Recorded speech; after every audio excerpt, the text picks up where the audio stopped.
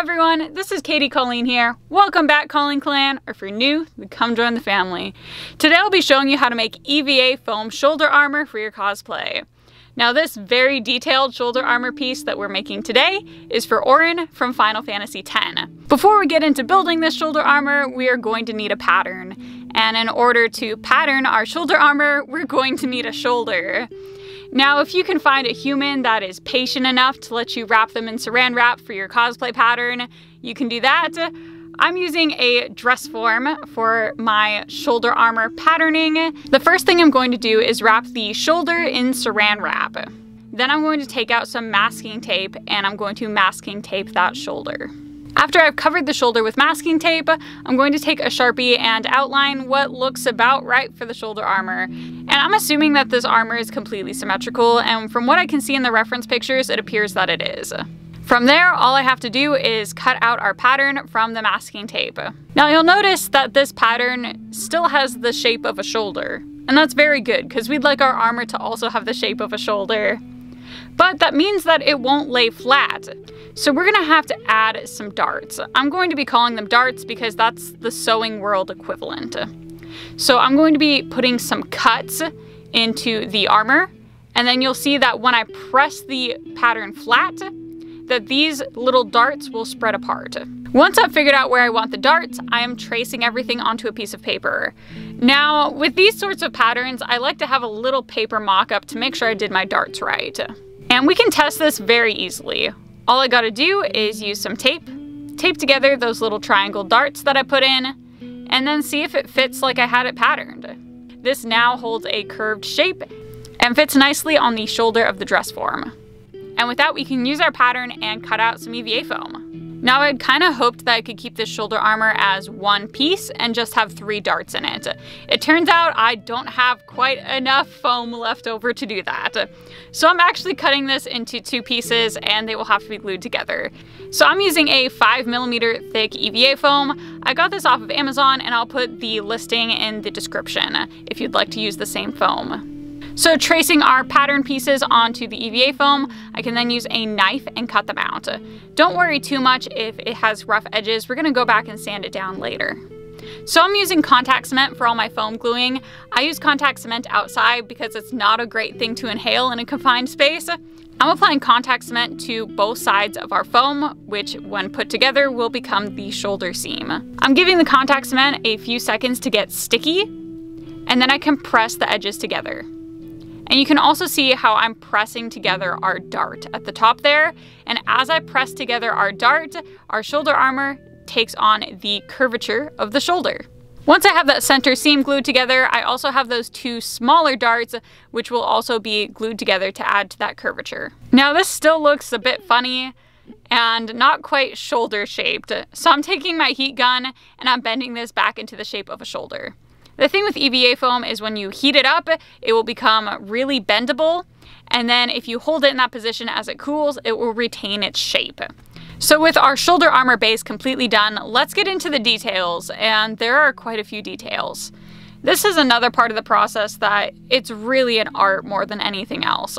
At this point, I just guess and checked everything. I had a few different drafts that I tried out, and after two or three different renditions, I finally got something I was happy with. Now I'm using a 2mm craft foam for these details. And now with our details cut out, we can glue them onto our shoulder armor base. So I'm going back outside to use some contact cement, and I'm applying the contact cement to one side of all of our little details. And then I am very carefully applying those details to the base. Oh, and I forgot the triangles. Auron's very extra shoulder armor also has this series of triangles, and that might have been okay, but this is one of the only splashes of color in the entire costume. I'm not gonna pass that up. So I ended up cutting out a whole bunch of really small triangles out of 2mm EVA foam and gluing those onto the shoulder armor base as well. Now with our shoulder armor assembled, I can get into sanding. So I'm taking my Dremel tool and I have a sanding bit on it. And I'm using the sanding bit just for the outside edge of the shoulder armor. Now there's a lot of little corners and details that you just can't get into with the sanding bit. So for all the details, I changed to a drill bit. So after doing a lot of sanding, I'm going to go over this once more with the heat gun, and that's going to really just smooth out the foam texture. It's gonna get rid of any of those sanding fuzzies, and it gives you another chance to do any heat shaping if you need to. So with all of that done, let's get into priming and painting. For the primer, I'm using a Plasti-Dip spray paint primer. I'm doing two coats of Plasti-Dip and allowing the armor to dry in between each coat. Once that's done, I'm going to take an acrylic paint and add some color. Now, I originally wanted to use this metallic paint. I guess I thought it'd look more like a metal armor and have a really cool effect. All this metallic paint did was add glitter.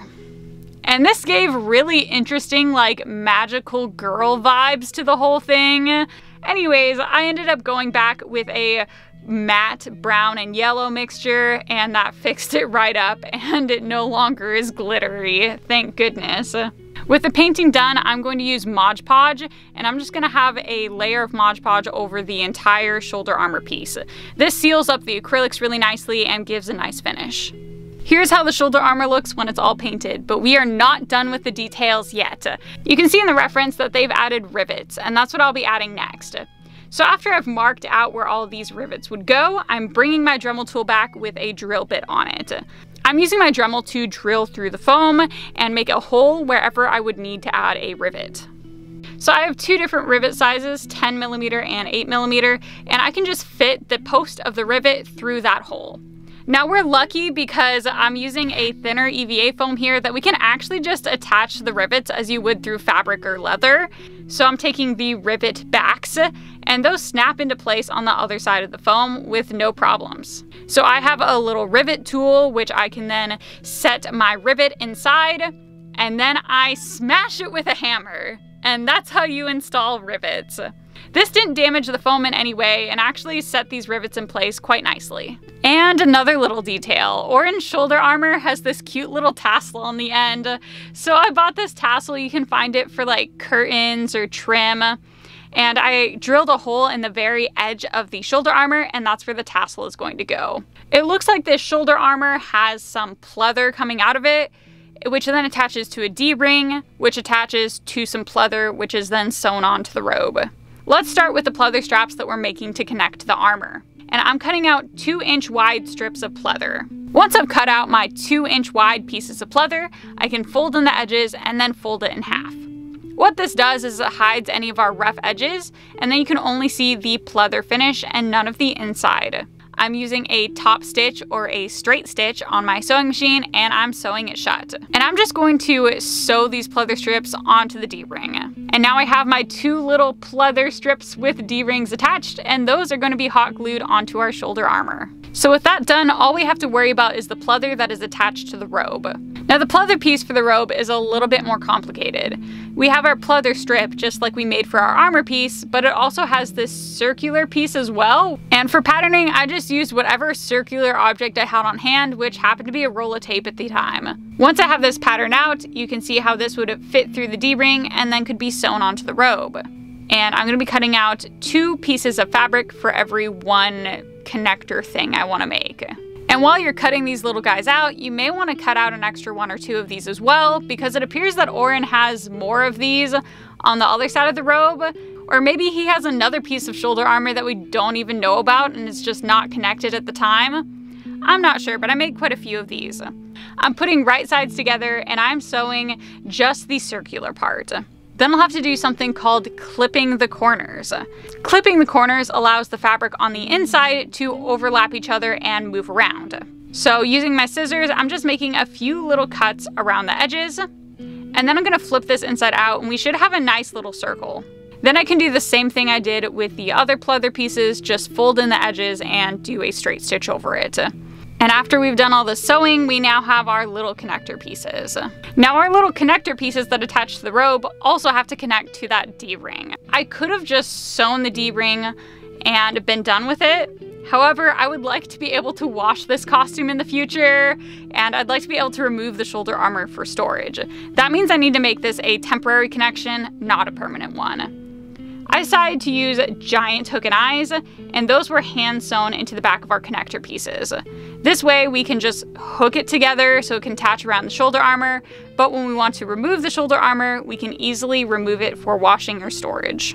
Now, if you look at the reference, it looks like these pieces were meant to be riveted into the robe.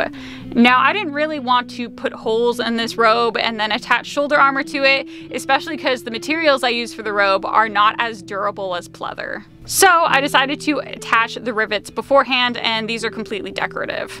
And now I'm going to hand sew our connector pieces onto the robe. After hand sewing our connector pieces on both sides, I then connected our shoulder armor. And I'd really like to tell you that that worked. But as you can see, just a tiny little tug on the tassel and the whole thing comes toppling down. To solve this, I'm hand sewing in a snap. One side of our snap is hand sewn onto the shoulder seam, and the other side of the snap is hot glued to the inside of our shoulder armor. This way we can snap that top snap and it holds the shoulder armor snugly at the shoulder seam. And then we can add our two other attachments, loop them through the D-ring, and with this extra attachment, it actually held really well. So here's my dad doing the modeling again, and I asked him to just move his arm around and do quite a few movements to just kind of test if this thing is gonna stay on. Honestly, that snap was just the thing to get this to hold. So I hope this was helpful for you guys. If you have any questions, please leave them in the comment section down below and I'll get back to you as soon as possible. Thank you so much for watching and I'll see you all in the next video.